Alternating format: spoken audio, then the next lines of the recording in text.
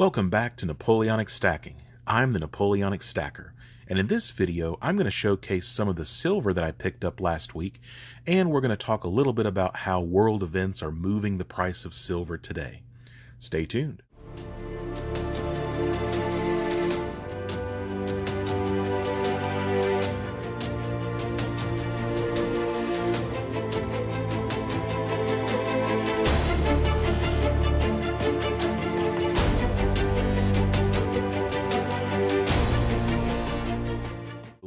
From last week into today, we've seen a whirlwind of events unfolding before our very eyes.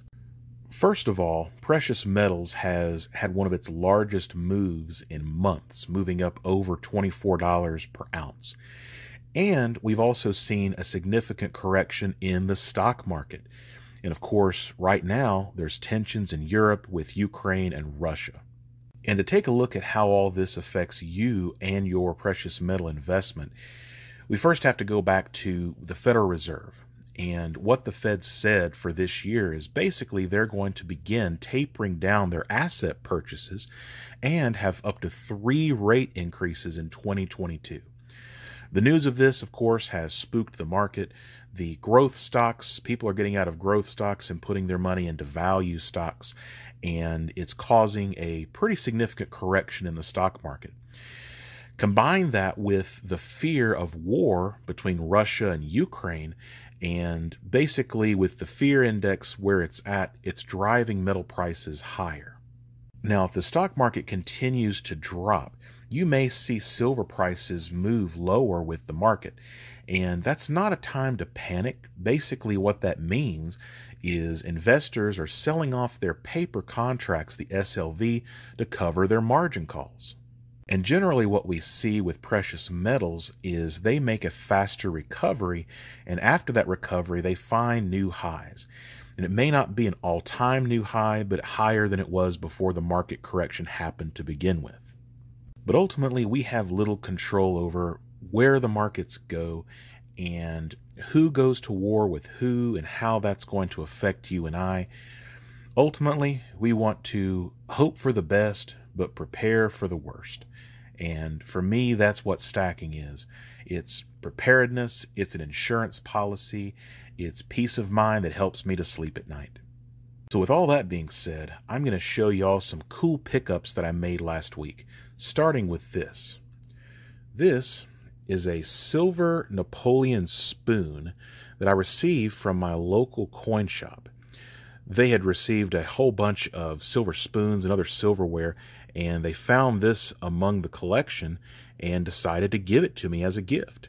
So, shout out again to my local coin shop, WNC Coins. And you can see here, this is like the bust of Napoleon with his arms crossed. Pretty cool. It's got some nice designs down the spoon, and it says Paris. And here you can see the hallmarks, the purity, and then the, the maker's mark. And this is actually an 80% silver spoon. So pretty cool. And while I was there, I also decided to pick up this OPM bar. This is from Ohio Precious Metals Company, which is now defunct because of massive corruption.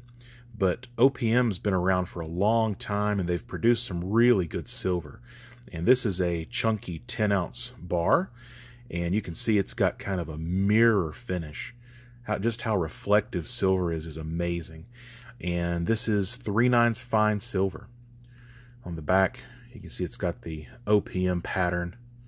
So just some straight up silver bullion I'm, I'm glad to have. I did have a long awaited package from APMEX that also showed up today, and within that package, I got a 2022 Silver Koala. And you can see he's a sleepy fellow there, just kind of resting on the eucalyptus branch. And this is struck at the Perth Mint in Australia. It's four nines fine silver, years 2022.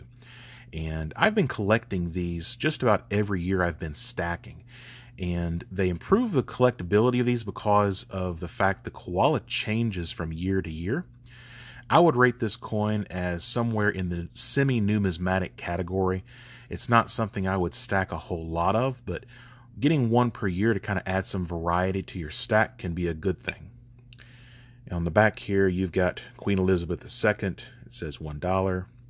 Australia. So, very nice. I also picked up an Italian commemorative coin. And on this coin, this is Dante Alighieri. And if you don't know who Dante Alighieri is, he wrote the Divine Comedy.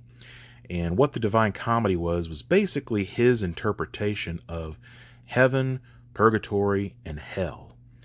And on the back of this coin, you can see there's a representation of heaven, Paradiso. The middle part with the fog is supposed to be Purgatorio. And then you've got the fire, which is the Inferno. And I actually ended up reading Dante's Inferno when I was in the seventh grade. And it absolutely scared me to death.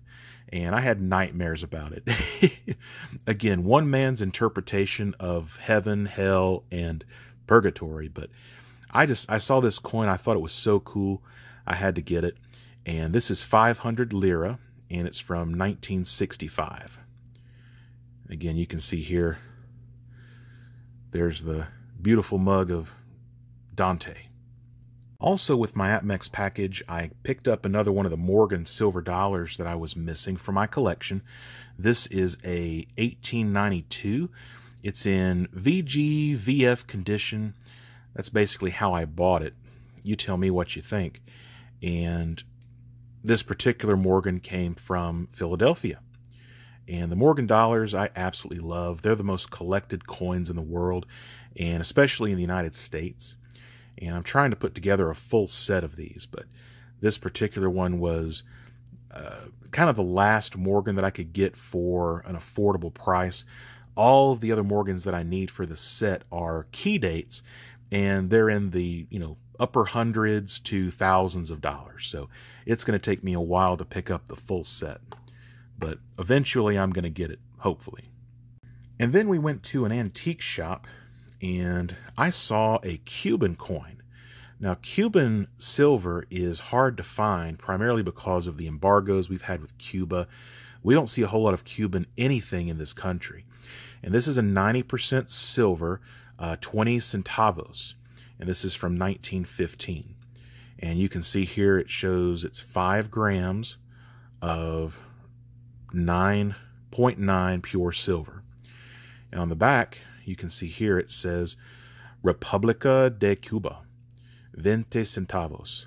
So very cool. This is actually my first 20 cent piece from Cuba.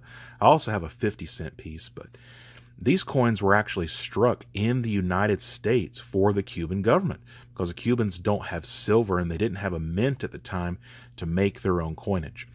And after Fidel Castro took power, the Cubans ended up, of course, having to make their own currency at that point. So the U.S., they, they were cut off from the U.S.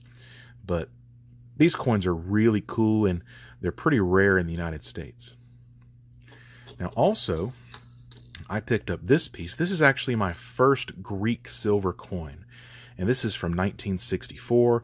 It's got King Constantine II here with his wife, and this was basically to commemorate their marriage. Uh, I'm not really sure. I should have done more research. But um, basically, it's a 30 drachma, 0.835% silver. And on the back, you can see it's got the the imperial eagle here, the double-headed eagle, and 30. So pretty cool. This last piece I also got from APMEX. It comes from the Paris Mint, and it's a 200 year anniversary commemorative coin of Napoleon.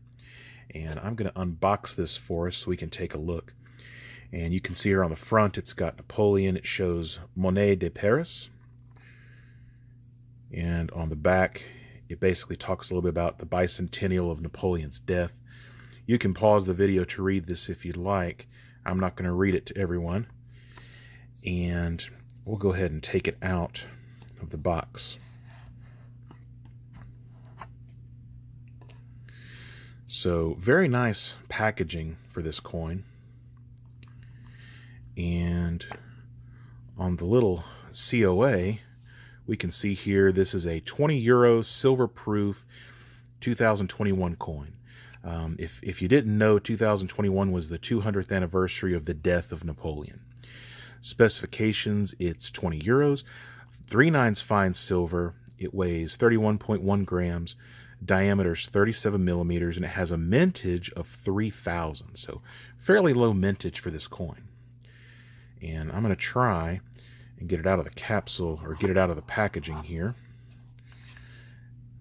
With these modern French coins, they're absolutely terrible to get out of the holder, but I managed to get it for us here so we can take a look. And you can see here, this is basically the head of Napoleon, and he's wearing his bicorn hat. It shows 1821 to, 8, to 2021, and you can see it's got some of his old guard here on the hat. You can see it's got the rooster and it has these bees kind of filling in the background. And the bee is basically the oldest symbol of France, and it basically symbolizes the new Napoleonic dynasty. It also symbolizes immortality and so many other things that Napoleon wanted to associate with France. So the bee was his symbol. And on the back here, you can see it's got the Napoleonic eagle with a kind of a sunburst. It shows 20 euros. In the middle, you've got the, the sigil of Napoleon there and kind of the shadowy outline of Napoleon with, again, kind of the background fields being those bees. And I think this is just an absolutely great tribute piece to Napoleon and it's really funny. The French have kind of a love-hate relationship with the the former French emperor. Some people, you know, absolutely adore him. Others, you know, think he was a was a curse on the country and then there's a lot of people just kind of in the in between, but ultimately he was a he was a polarizing figure and he was a significant figure in not just European history but world history. And I think it's great that the Paris Mint decided to commemorate the emperor on this coin. Now, I do have another Napoleonic coin from the Paris Mint that I haven't shown anyone yet. If you'd like to see it, please put the just please put it in the comment section and I'll pull it out at some point. But I'm very excited to have this one. I think it looks really cool. But that's pretty much what I have for y'all today. If you like what you saw, please give me a like. If you haven't subscribed yet, please subscribe. It certainly helps the YouTube algorithm. And I do thank you so much for watching. And until next time, Napoleonic Stacker signing out.